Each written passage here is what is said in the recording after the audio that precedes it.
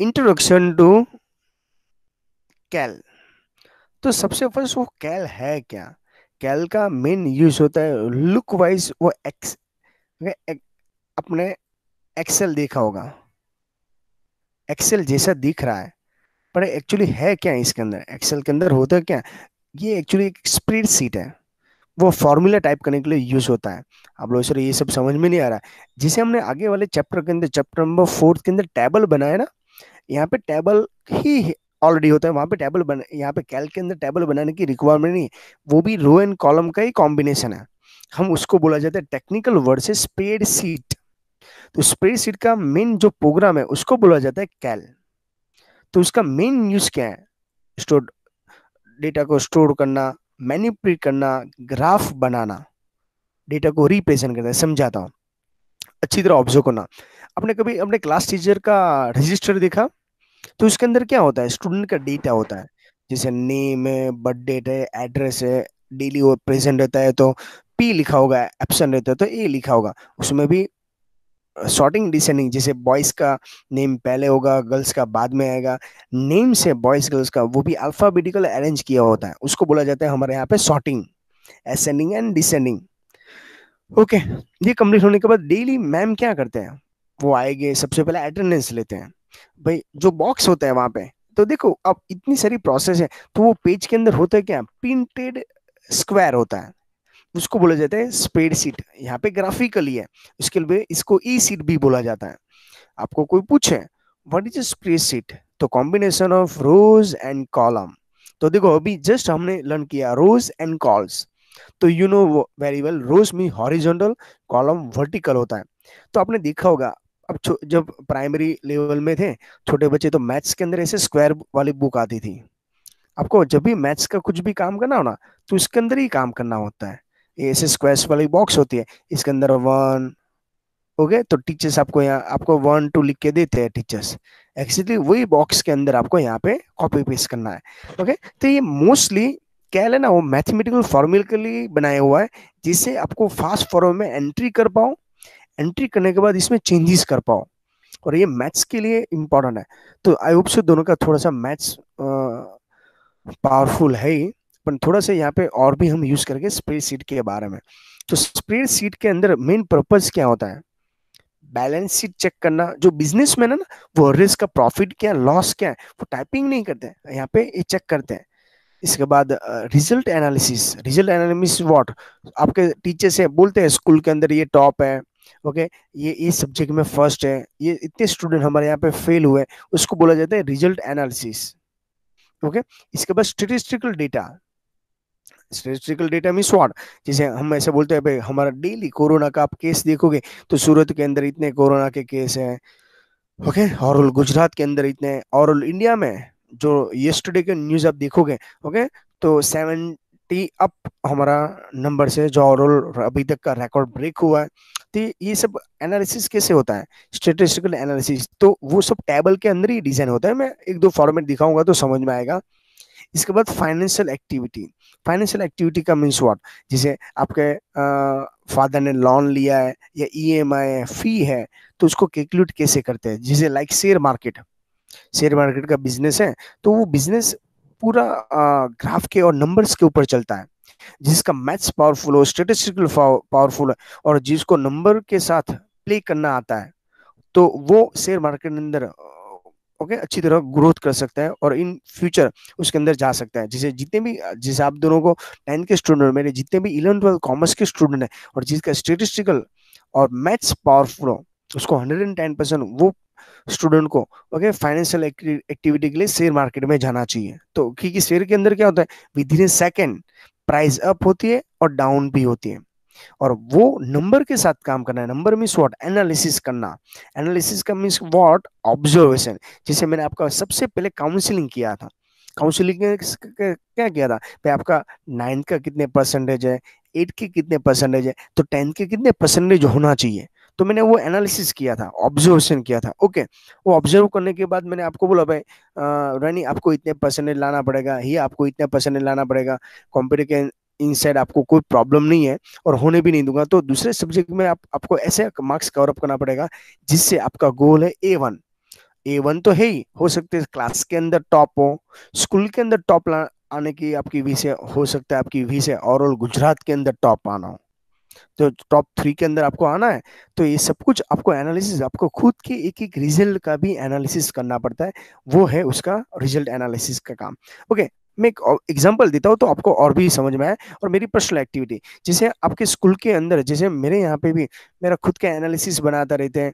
Okay जैसे example दू, ये कंप्यूटर के मार्क्स हैं तो इसके अंदर क्या एनालिसिस किया जाए। जैसे एग्जांपल देखो एक्सेल की सीट ओपन हो रही है, पर ये ओपन ऑफ़िस नहीं है।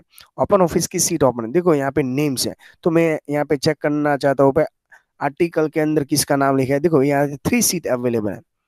ओके कितने स्टूडेंट का है? यहाँ पे रोल नंबर कौन सा है? तो ये सब फिल्टरिंग करते हैं हम। ओके कितने स्टूडेंट हाई हाई विस्ट उसका आर्टिकल किसने लिखा है? क्या उसका पॉइंट्स है? ओके उसके पीपीटी में कितने ने पार्टिसिपेट किया है तो ये सब पॉइंट्स क्लैरिफाई करने के लिए हम मोस्टली एक्सेल की सीट ओपन किया करते हैं। ओपन ऑफ़िस कैल कैसे दिखता है, उसका व्यू में करवा देता हूँ। स्टार्ट मेनू में जाइए। ऑल प्रोग्राम में जाइए। ओपन ऑफ़िस उसके अंदर यहाँ पे देखो लिखा है ओपन ऑफ़िस कैल ओके जैसे कैल आप स्टार्ट करोगे, ये मैंने ओपन किया तो एक्सेल था। माइक्रोसॉफ्ट का। हमारे सिलेबस में ओपन ऑफ़िस का कैल है तो be careful within second short time के अंदर, जैसे यहाँ पे आपका कैल स्टार्ट हो जाता है। देखो, ये कैल है, यहाँ पे बॉक्स दिखाई देते हैं। जो डार्क है ना, उसको बोला जाता है एक्टिव सेल जो जैसे यहाँ पे ए बी सी डी ये है ना इसको बोला जाता है कॉलम और ये ऐसा है वन टू ये रो ये दोनों का, जब ये सिलेक्ट करता हो तो यहाँ पे ए टू लिखा होता है। तो ए टू का मेन यूज़ क्या होता है? What is use for A two means जो भी एक्टिव सेल है, हम जो एक्टिव सेल के अंदर जो भी टाइप करना वो टाइप कर सकते हैं। जैसे लाइक एन नेम है, मैं टाइप कर सकता हूँ। ये सब हमको इसमें यूज़ करना है। तो टोटल ऐसे सेल कितने कॉलम के दो टोटल थ्री सीट है। Sheet one two and three one two and three sheet available है। देखते हैं नेक्स्ट उसके अंदर क्या है पर्सनल एक्टिविटी जैसे मेरे मार्क्स हैं, वो सब कुछ मैं देखता हूँ। जैसे हाँ मैं जिम जा रहा हूँ और जिम के अंदर मेरा वेट क्या है? अभी देखो पेन पेपर का काम कम करना है। पेन पेपर हम अभी देखो, ये लॉकडाउन में हमको यही बनाया स्मार्ट वर्क कैसे करते हैं? स्मार्ट वर्क करने के लिए क्या करना पड़ता है? जो भी मैं काम करता हूँ, उसको पहले एक बार सोचूँगा। ओके? उसको इजी कैसे बनाया जाता है? इजी बनाने का मेन पर्पज क्या होता है?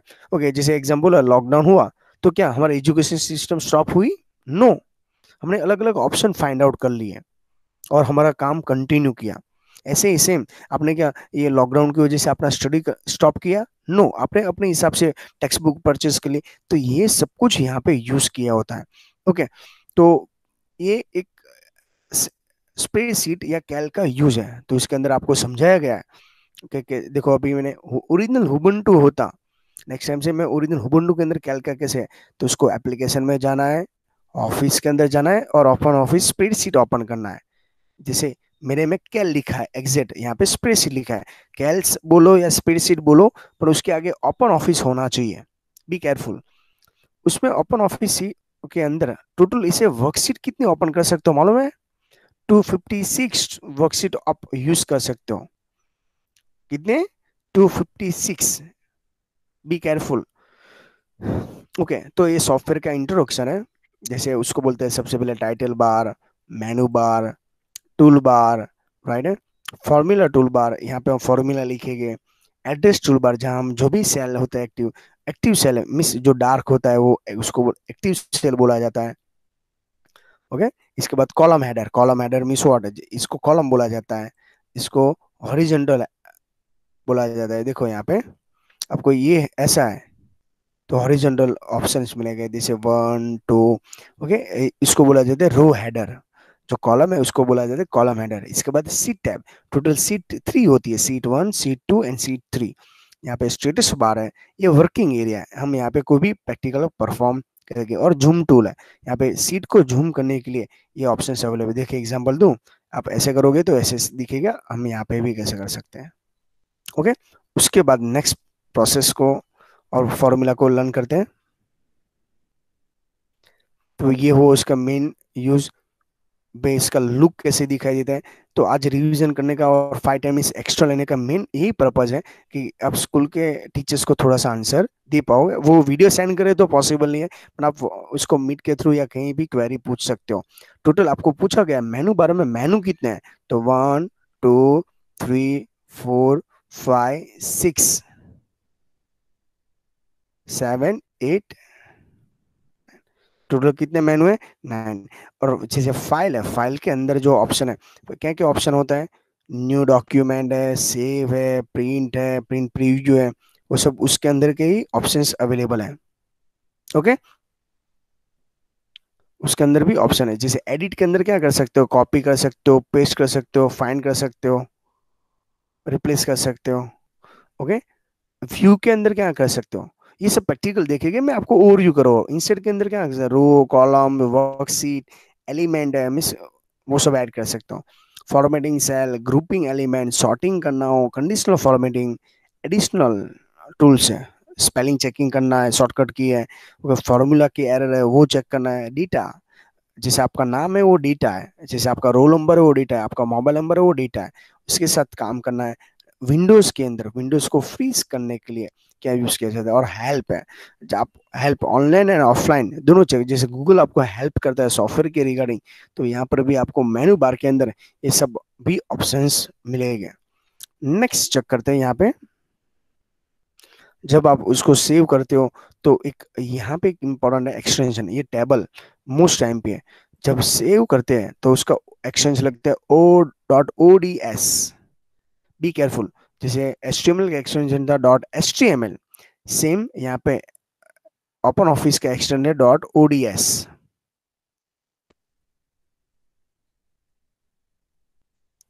okay देखिए यहाँ।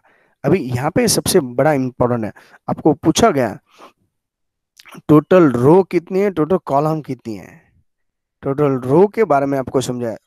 कैल में टोटल कॉलम कितनी है? One zero twenty four row कितनी है? कॉलम मीस व्हाट ऐसे कॉलम जो ए से स्टार्ट होता है और ए एम एन जे से ओर होता है। देखो यहाँ पे लिखा है। ए एम एन जे और सेम रो कितनी है? One zero four eight five seven six. आप लोग सर हम कैसे याद रखेंगे ये सब? मैं समझाऊँगा, आपको सब समझ में आने लगेगा। भाई ये सब वापस इसके कोई ग्राफ या चार्ट नहीं बना सकते हैं। ओके अभी इसके बाद फॉर्मूला तो फॉर्मूला कैसे ये सब स्टॉप कर सकते हैं, उसके बारे में भी क्लैरिफाई करेंगे। इसके बाद सी टैब देखो यहाँ पे हॉरिजेंटल और वर्टिकल क्या है? ओके इसको ऐसे यूज़ करने के लिए ये ऑप्शन है, और यहाँ पे देखोगे तो ये ऑप्शन भी अवेलेबल है। Okay next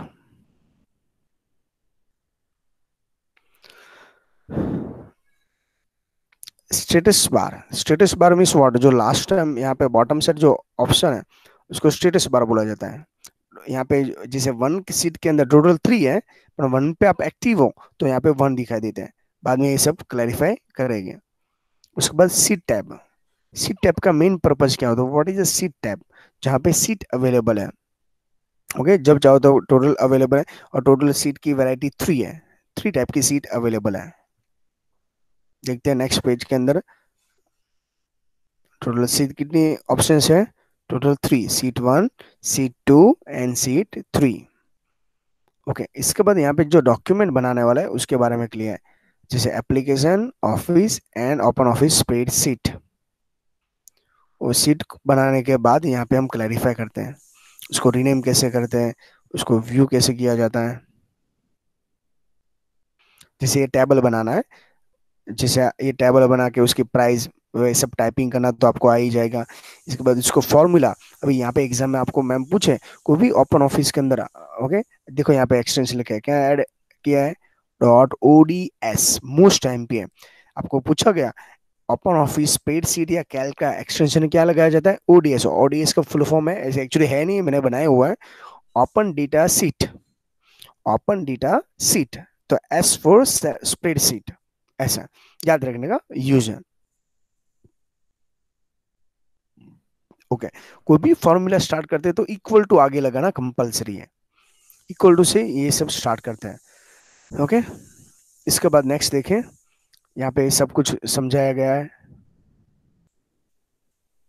और यहाँ पे फॉर्मूला लगाते हैं। सी टू तो सी टू ये है फाइव डी टू तो डी टू ये है, और उसका जो भी फॉर्मूला का आंसर आता है ऑटोमेटिकली आंसर आ जाएगा। ओके बाद में यहाँ पे ड्रैग का ऑप्शन है, जैसे ड्रैग एंड ड्रॉप ये सब प्रैक्टिकल बेस है, हम प्रैक्टिकल हम जब परफॉर्म करेंगे, तब मैं आपको समझा दूँगा। ओके यहाँ पे टोटल का फॉर्मूला कैसे टेबल बनाना है, आगे जो टेबल बनाया था सेम यहाँ पे टेबल बनाना है, अपना आगे जो टेबल बनाया था, वो एस्टिमल का टेबल था। और यहाँ पे जो ये टेबल बना रहे हैं हेडर फुटर वो सब नेट अमाउंट ये सब, वो किसका टेबल बना रहे हैं? हम कैल का सॉफ्टवेयर का यूज़ करके टेबल बना रहे हैं। टेबल बनाने के बाद, इसके बाद लास्ट में यहाँ पे उसको सेव करना है और रीओपन कैसे करना है? ये प्रैक्टिकल बेस है। और ये सबने बनाया किसने? ये सब बनाया जो डेवलपर है। Mid developer of the open जैसे गूगल किसी ने बनाया होगा व्हाट्सएप किसी ने बनाया होगा फेसबुक किसी ने बनाया सेम ये कैल जो बनाया था, इसका वर्कशीट बनाने के लिए, जो नेम है उसका formula equal to star Calc team जिसे आप स्टार कैल टीम यहाँ पे लिखोगे एड्रेस बार के अंदर तो जो भी पर्सन ने, ये फोर पर्सन है, उसने कैल बनाया था ये। ओके ये कैल उसने डिज़ाइन किया हुआ है। तो ध्यान रखना, ये थोड़ा मैं फनी फेस बना रहा हूँ।